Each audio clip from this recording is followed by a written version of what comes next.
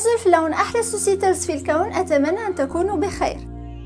لاحظت الأبحاث التي أجرتها مؤسسة الكلى الوطنية أن أكثر من 90 ألف أمريكي يموتون كل عام من أمراض مرتبطة بالكلى. قد لا يدرك الكثير منا أن كليتنا تلعب دورا أساسيا في الحفاظ على حياتنا ويجب أن يكون الحفاظ على صحتها أولوية قصوى. كيف يمكن تحقيق ذلك؟ لا توجد إجابة واحدة بسيطة، وتلعب جيناتنا دورا كبيرا، وعلينا الاهتمام بعاداتنا اليومية، ما نأكله، وأنماط نومنا، وإجراءات التمارين الرياضية وغيرها، لأن هذا هو المفتاح لمنع تلف الكلى والحفاظ على صحة أجسامنا. وكما تعرفون، سيلينا غوميز قامت بزراعة كلية تبرعت بها صديقتها المقربة فرانسيا ريسا، ويجب عليها متابعة هذه الخطوات لحمايتها من التلف وإلا ستموت مرة أخرى وستضطر للانتظار إلى أن يظهر متبرع آخر. يجب عليها التقليل من الملح.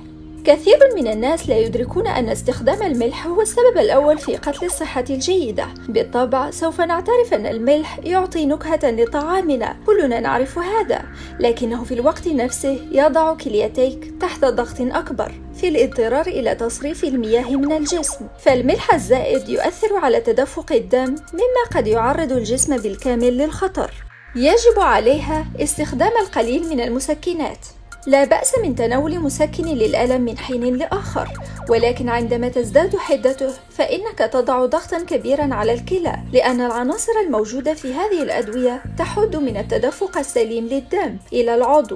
أجرت مجلة نيو إنجلاند الطبية دراسة أشارت إلى أن متوسط 5000 حالة أو أكثر من حالات الفشل الكلوي في الولايات المتحدة الأمريكية تحدث نتيجة تناول جرعة زائدة من أدوية تسكين الألم مثل تايلينول وأدفيل مسكنات الألم في حد ذاتها ليست خطيرة بل يجب استخدامها بشكل منتظم وباعتدال. سيلينا يهددها البرد. يلاحظ مركز السيطرة على الأمراض أن معظم الناس يعانون من نزلة برد مرتين أو ثلاث مرات سنويا ولا يتجاهلونها إلا كمشكلة الأنف المزعجة. ومع ذلك قد تضر بصحة جسمك على المدى الطويل أكثر مما تتخيل. سيؤدي ترك البرد دون علاج إلى إنتاج الجسم لعدد كبير من الأجسام المضادة والتي تعد عاملا صحيا عالي الخطورة للكليتين. قد لا يحدث ذلك على الفور ولكن كلما زادت تغذية هذه الأجسام المضادة وحمايتها زادت سرعة تدهور الكلى. لا يجب على سيلينا حبس البول. لدى الكثير منا عادة سيئة تتمثل في حبس البول خاصة إذا كنا لا نريد التوقف عما نقوم به في لحظة معينة. لكن هل تدرك أن هذا من أقصى الأشياء التي يمكن أن تفعلها بجسدك؟ ضع في اعتبارك أن البول قاعدة للنفايات والبكتيريا الضارة والتي تتراكم كلما طالت مدة بقائه. سوف تشق تلك البكتيريا طريقها في النهاية إلى الكليتين حيث تبدأ المشاكل حقاً. يجب عليها الإقلاع عن التدخين سواء كانت تفعل ذلك مرة واحدة في الأسبوع أو الشهر أو السنة يعرف الكثير منا الآن أن التدخين ليس صحيا للجسم. وسيلينا معروف عليها أنها تدخن. لقد تعلمنا جيدا حقيقة أن التدخين يشكل خطورة على الرئتين والقلب ولكن لم يتم إيلاء الكثير من الاهتمام لخطر الكلى. عندما يدخن الإنسان فإن هذا يسمح بإنتاج الكرياتينين وهي مادة ضارة تفرز عادة في البول مما يشق طريقه ببطء إلى الكلى.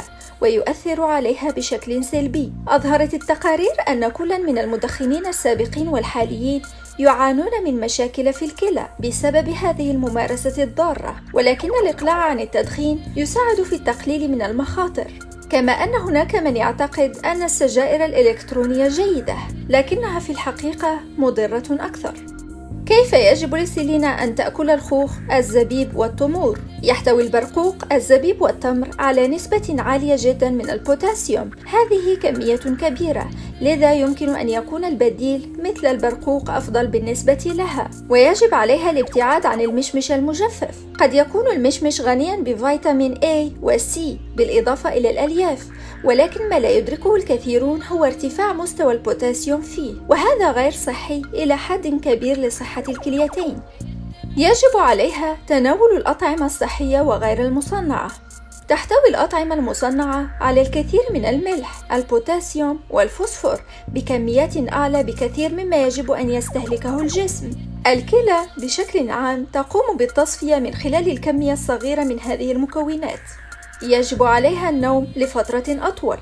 الحصول على قسط كاف من الراحة سيترك كليتها في حالة جيدة لأنه كلما طالت مدة بقائها مستيقظة زادت فترة تضرر كليتها. أظهرت الأبحاث التي أجريت في جامعة شيكاغو أن أولئك الذين ينامون أقل من سبع ساعات كل ليلة لديهم فرصة بنسبة 19% للإصابة بالفشل الكلوي.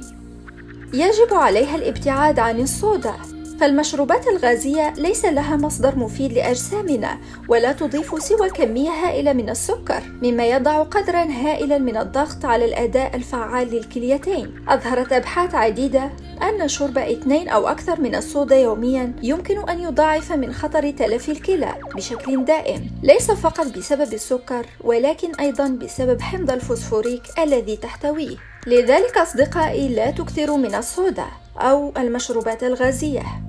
يجب عليها أخذ الجرعات الموصوفة من الدواء يومياً. يساعد الدواء الموصوف لها على تنظيم جسمها مثلا أدوية ضغط الدم وغيرها. وهذا الدواء ينفخ جسمها أحيانا ويسبب في زيادة وزنها. فإن تغيير طريقة الوصفة الطبية والتعامل معها كشيء عرضي سيؤدي إلى عدم توازن كليتها. وكذلك يجب عليها تناول مكملات غذائية. يجب عليها ممارسة الرياضة. التمارين المنتظمة تحسن وظائف العضلات لديها وتساهم في استقرار ضغط الدم ويظهر البحث أنه حتى 150 دقيقة فقط في الأسبوع من التمارين الخفيفة كافية جدا لمساعدتها لصحة جسمها وبالتالي مساعدة الكلية على تأدية وظيفتها. ويجب عليها عدم الإفراط في الرياضة لأن هذا يضع الكثير من الضغط على الجسم. يجب عليها شرب الكثير من السوائل والمياه لأن دور الكلى هو تصفية الماء من الجسم وعلى هذا النحو كلما زاد ترطيب الجسم كان ذلك أفضل بالنسبة للكلية. يجب عليها التقليل من اللحوم الحمراء. يعد تناول اللحوم الحمراء من حين لآخر أمرا جيدا بدرجة كافية ولكنه أثبتت الدراسات أنه ضار إذا تم تناوله كثيرا لأنه توجد عناصر سامة في اللحوم الحمراء يمكن أن تكون ضارة بالكلى ويجب على سلينا أن تكون حذرة في كيفية تناوله. يجب عليها المشي أكثر. قد يكون التنقل خيارا صحيا لكليتها أكثر من الجلوس لساعات طويلة أو البقاء في الاستوديو لمدة طويلة. سيساعد النشاط البدني لمدة ساعة يوميا في تنظيم تدفق الدم وتخفيف الضغط على الكلية. التوتر والحزن مضرين لها. فهو لا يرفع ضغط الدم لديها فقط ويصيبها بالصداع ولكنه يؤثر أيضا على الكلية بطرق أخرى. يجب على فريقها وأصدقائها التأكد من أنها مرتاحة في جميع الأوقات. يجب عليها فحص الدم باستمرار وكذلك الضغط. يجب عليها التقليل من تناول القهوة. لماذا؟ لأن تناول فنجان من القهوة يوميا ليس بالأمر السيء ولكن عندما يتحول إلى عدة أكواب يوميا كل يوم فهذا مضر بالصحة. وذلك لأن الكميات الزائدة من الكافيين في الجسم تزيد من ضغط الدم وتدفع الكلى إلى إرهاقها بسبب عدم التوازن وعدم الاستقرار.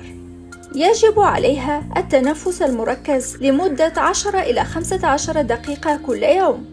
يجب عليها تناول المزيد من الفواكه والخضروات. وألا تشاهد المسلسل بأكمله في ليلة واحدة لأن هذا سيلهيها عن النوم وبالتالي ستزيد من شدة التوتر والإرهاق على نفسها. يجب عليها أن تتمتع بحياة اجتماعية مع عائلتها أو أصدقائها وأن تكون مسترخية أي يجب أن تكون في بيئة آمنة. وأخيرا يجب عليها تنظيف الأسنان بالفرشاة جيدا. تمتلك البكتيريا التي تنتجها أمراض اللثة القدرة على الوصول إلى مجرى الدم وتغيير طريقة عمل القلب. لذا فإهمال تنظيف الأسنان يمكن أن تؤدي إلى السكتة الدماغية. أصدقائي، هذه الأشياء يمكنك أيضا اتباعها لحماية جسمك من الأمراض، فاستفد منها قدر الإمكان. الجدير بالذكر أن جوميز شاركت لأول مرة تفاصيل حول عملية زرع الكلى في عام 2017 وكشفت أنها خضعت لها بعد مرض الذئبة وهو اضطراب في المناعة الذاتية تم تشخيص إصابتها به. قبل خمس سنوات. مما أضعف وظائف الكلى لديها وأصبحت شبه ميتة. كانت صديقة جوميز المقربة فرانسيا هي المتبرعة بكليتها في الرابع من أغسطس 2021 وهناك مقاطع كثيرة تشرح التفاصيل في قناتنا. تحققوا منها اكتبوا سوسية متبوعة بالموضوع الذي تبحثون عنه وستجدونه. ودمتم سالمين.